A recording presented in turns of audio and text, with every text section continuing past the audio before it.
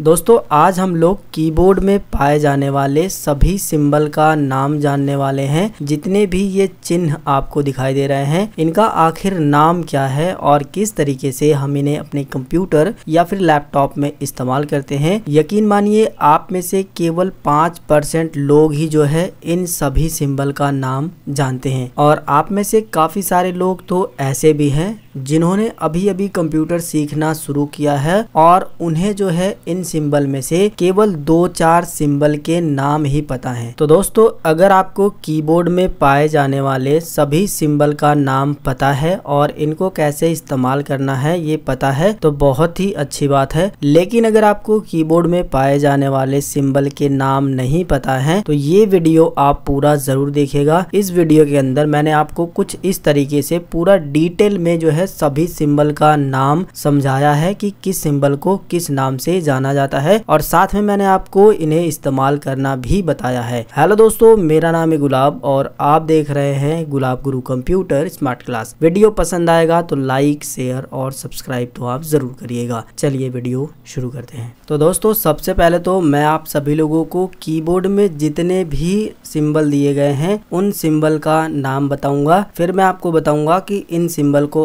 आप अपने कंप्यूटर या फिर लैपटॉप में कैसे इस्तेमाल कर सकते हो? तो सबसे पहला जो सिंबल है, वो कुछ इस तरीके का है। आप देख सकते हो कीबोर्ड में स्केप की के ठीक नीचे आपको ये सिंबल मिल जाता है और इस सिंबल का नाम है टिल्डे। अगला जो सिंबल है, वो कुछ इस तरीके का है और ये सिंबल भी आपको स्केप की के टिल्डे वाला जो बटन था, उसी में जो है नीचे की साइड में मिल जाता है और इस सिंबल का नाम है ओपन कोट। अगला जो सिंबल है, वो कुछ इस तरीके का है। ये सिंबल आपको कीबोर्ड में एक नंबर की की पर ऊपर की साइड में मिलता है और इस सिंबल का नाम है एक्सक्लामेशन मार्क, जिसे हिंदी में जो है विस्म बोधक चिन्ह भी बोला जाता है। अगला जो सिंबल है, वो इस तरीके का है और ये सिंबल जो है आपको दो नंबर की की में ऊपर की साइड में मिलता है और इस सिंबल का नाम है एट साइन। सामान्य बोलचाल की भाषा में हम लोग इसे एट द रेट भी बोलते हैं और ये सिंबल ज़्यादातर जो है जीमेल वगैरह में यूज़ होता है। अगला जो सिंबल है वो कुछ इस तरीके से है और इस सिंबल के बारे में आप में से काफ़ी सारे लोग जानते भी होंगे। ये सिंबल जो है आपको थ्री नंबर की पर ऊपर की साइड में मिलता है और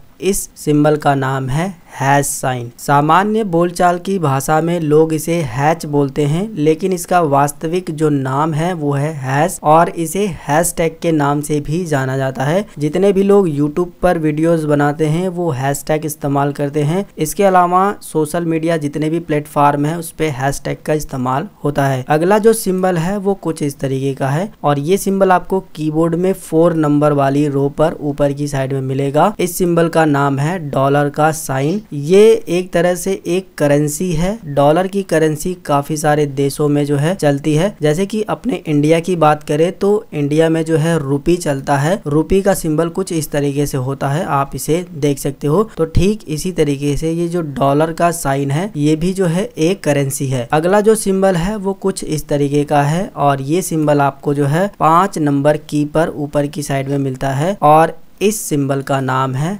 परसेंट साइन। और इस सिंबल को हम लोग हिंदी में जो है प्रतिशत के नाम से भी जानते हैं। बात करें अगले सिंबल की तो अगला सिंबल कुछ इस तरीके का है। और ये सिंबल आपको जो है कीबोर्ड में सिक्स नंबर की की पर ऊपर की साइड में मिलेगा। इस सिंबल का नाम है कैरेट साइन। हिंदी में इसे जो है घात का सिंबल भी बोला जाता है और अंग्रेज़ी में इसे कैरेट साइन बोला जाता है। बात करें अगले सिंबल की तो अगला सिंबल कुछ इस तरीके का है, जो कि आपको कीबोर्ड में सेवंथ नंबर की की पर मिलता है। इस सिंबल का नाम है एम परसेंट कई जगहों पर हम लोग इस सिंबल का यूज़ जो है एंड के लिए करते हैं तो इस सिंबल को एंड नाम से भी जाना जाता है। बात करें अगले सिंबल की, जो कि आपको कुछ इस तरीके से दिखाई देता है, और ये सिंबल आपको जो है एट नंबर की की पर ऊपर की साइड में मिलेगा। इस सिंबल का नाम है एस्ट्रिक्ट साइन, या फिर इसे जो है स्टार के नाम से भी जानते हैं। और इस सिंबल को हम लोग जो है गुना का भी सिंबल कहते हैं। जब हमें कंप्यूटर या फिर लैपटॉप में गुना करना होता है तो हम इसी सिंबल का इस्तेमाल करते हैं। तो इस सिंबल का नाम है एस्ट्रिक्ट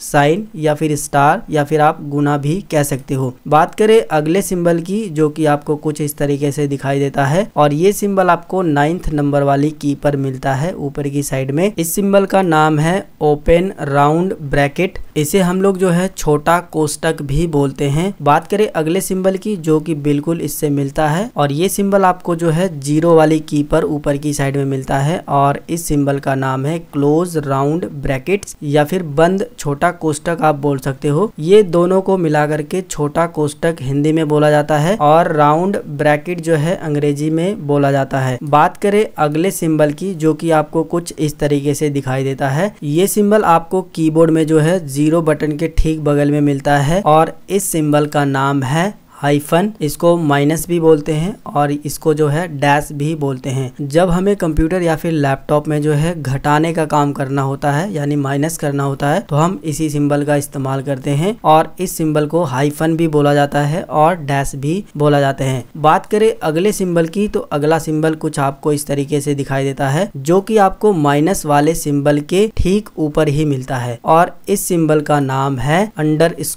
सिंबल को जो है अंडर के नाम नाम से जानते हैं। बात करें अगले सिंबल की तो अगला सिंबल आपको कुछ इस तरीके से दिखाई देता है। इस सिंबल के बारे में आप सभी लोगों को पता होगा कि इसे जोड़ का सिंबल बोलते हैं और अंग्रेज़ी में इसे जो है प्लस बोला जाता है। ये सिंबल आपको बैक स्पेस के ठीक बगल में मिल जाता है, जैसा कि आप कीबोर्ड में देख सकते हैं। बात करें अगले सिंबल की तो अगला सिंबल कुछ इस तरीके से आपको मिलता है, जो कि आपको प्लस बटन में ही नीचे की साइड में मिल जाता है। इस सिंबल का नाम है इक्वल हिंदी में इसे बराबर का निशान बोलते हैं। बात करें अगले सिंबल की तो अगला सिंबल कुछ इस तरीके से आपको दिखाई देता है, जो कि कीबोर्ड में आपको कुछ यहाँ पर दिखाई देता है। और इस सिंबल को हम लोग जो है करली ब्रैकेट के नाम से जानते हैं। और ये करली ब्रैकेट जो है ओपन हुआ है, इसलिए जो है इसे ओपन करली ब्रैकेट बोला जाता है। बात करें अगले सिंबल की तो अगला सिंबल कुछ इस तरीके से है। और इसको भी जो है हम लोग करली ब्रैकेट ही बोलते हैं, लेकिन ये क्लोज करली ब्रैकेट है। करली ब्रैकेट को हम लोग हिंदी में जो है, मझला कोष्टक भी बोलते हैं। बात करें अगले सिंबल की तो अगला सिंबल कुछ इस तरीके से दिखाई देता है, जो कि आपको करली ब्रैकेट वाले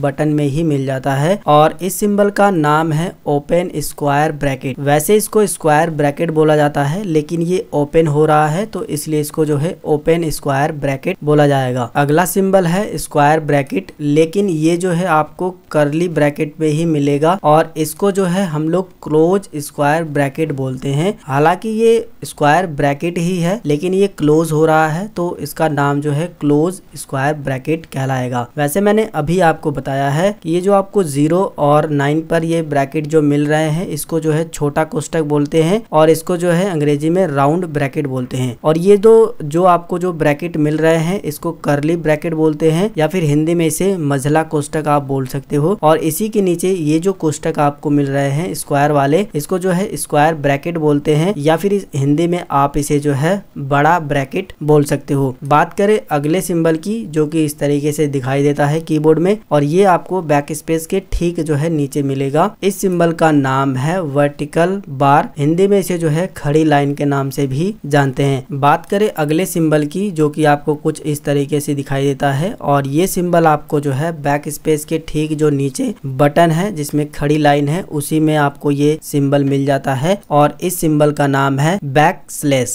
बात करें अगले सिंबल की तो अगला सिंबल आपको कुछ इस तरीके से दिखाई देता है कीबोर्ड में, और इस सिंबल का नाम है सेमी कॉलन जिसको हिंदी में जो है अर्ध विराम के नाम से जानते हैं। बात करें अगले सिंबल की तो अगला सिंबल आपको सेमी कॉलन वाले सिंबल में ही कुछ इस तरीके का सिंबल मिल जाता है। इस सिंबल को जो है हम लोग सिर्फ़ कॉलन के नाम से जानते हैं, जिसे हम लोग गणित की भाषा में अनुपात के नाम से भी जानते हैं। बात करें अगले सिंबल की तो अगला सिंबल आपको कुछ इस तरीके से दिखाई देता है, जो कि एंटर की के ठीक बगल में है। इस सिंबल का नाम है एपेस्ट्रॉफी, या फिर सिंगल कोट के नाम से भी इस सिंबल को जाना जाता है। बात करें अगले सिंबल की तो अगला सिंबल आपको कुछ इस तरीके से दिखाई देता है, जो कि एपेस्ट्रॉफी वाले सिंबल के ठीक जो है ऊपर ही ये सिंबल आपको मिल जाता है। इस सिंबल का नाम है double coat.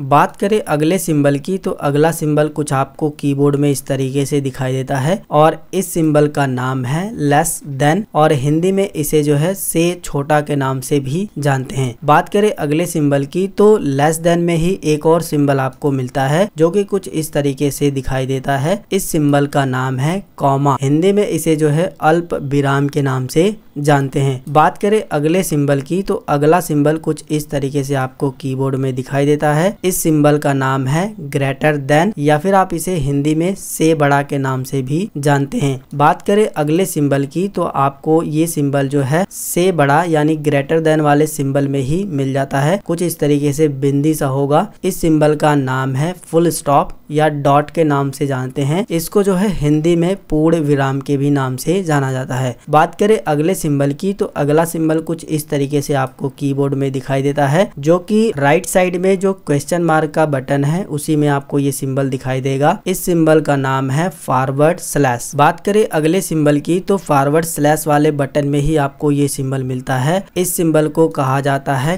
Question mark Hindi में इसे प्रश्नवाचक चिन्ह भी कहा जाता है। तो दोस्तों कीबोर्ड में जितने भी सिंबल थे, उन सभी सिंबल के बारे में मैंने आपको एक एक करके काफ़ी अच्छे तरीके से बताया है। तो दोस्तों कीबोर्ड में जितने भी सिंबल होते हैं, इन सभी सिंबल के नाम मैंने आपको बता दिए हैं। अब हम लोग जो है जान लेते हैं कि आप इन सिंबल को कैसे यूज़ करोगे। इन सिंबल को कैसे यूज़ करना है? इसे जानने से पहले यहाँ पर आपको छोटी सी बात का ध्यान देना है कि कीबोर्ड में जितने भी बटन हैं, अगर उन बटन में दो चिन्ह आपको मिलते हैं, यानी दो चीज़ें लिखी हुई हैं, जैसे कि इसमें हैच भी है और थ्री भी है तो ऊपर वाले सिंबल को यूज़ करने के लिए, ऊपर वाले अक्षर को यूज़ करने के लिए आपको शिफ्ट की को दबाना है। जैसे कि मुझे जो है टिल्डे वाला सिंबल को यहाँ पर अगर यूज़ करना है तो शिफ्ट के साथ टिल्डे वाले बटन को दबाऊँगा तो देखिए टिल्डे आ जाएगा। इसी तरीके से ये जो एक के ऊपर सिंबल है एक्सक्लामेशन का, उसको यूज़ करना है तो शिफ्ट के साथ यूज़ करेंगे। इसी तरीके से अगर एट द रेट हमको यूज़ करना है तो शिफ्ट के साथ ही करेंगे। हैच भी करना है तो शिफ्ट के साथ डॉलर परसेंटेज घात का सिंबल एम परसेंट या एंड का सिंबल एस्ट्रिक्ट का सिंबल या फिर इसे स्टार का सिंबल भी बोलते हैं। Open round bracket close round bracket hyphenation का सिंबल या फिर जो है प्लस का सिंबल तो अगर आपको इन सिंबल को यूज़ करना है, जो ऊपर की साइड में बने हुए हैं तो आपको साथ में शिफ्ट की को दबा करके इन की को दबाना है। समझ में आ रहा है आपको? कि कैसे आप इन सिंबल को यूज़ करोगे।